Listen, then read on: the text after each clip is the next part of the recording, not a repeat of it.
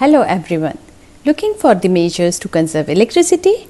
Here we are going to go through 9 steps implementing which one can reduce electricity consumption on daily basis.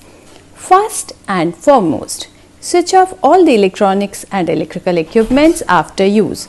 Up until now, we have been replacing conventional lights by LEDs and the rheostatic fan regulators by the electronic ones. In order to save electricity, one must switch mobile chargers, mixer grinders, microwaves and other such equipments off after use. Secondly, working in the natural daylight and breathing in the natural air enhances our body's immunity and provides the required break from the constant electricity use in some or other way. AC filter cleaning enhances its performance and further lowers the consumption of electricity. So, we have to take care of regular cleaning of AC and other equipments. Third, my point is purchasing the equipments with high star ratings always proves to be beneficial in the long run. Refrigerators, air conditioners, geysers and several other electric products with a high star rating are proved to consume less power. In order to save electricity, we should prefer buying them. Hello, I'm Divyani and I will be taking you through the next three points following which you may conserve electricity. Youngsters prefer studying at night time.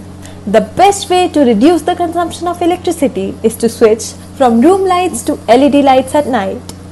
Another point to be noted is that defrosting the refrigerators monthly and decluttering leads to better cooling along with reduction in the power consumption. Furthermore, equipments like water pumps which are used occasionally must be operated at off-peak times in order to provide full voltage supply for the desired output. Hi guys, this is Tanishka and I'm going to continue to tell you some key things to help you save some electricity. So always make sure the devices that you use are not on standby but are turned off.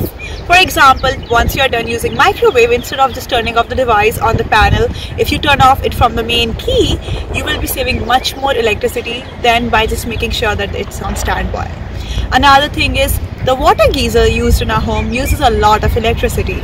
A good alternative is solar geysers. They are environment friendly, eco-friendly and they also make sure you get hot water without putting that much burden on the environment.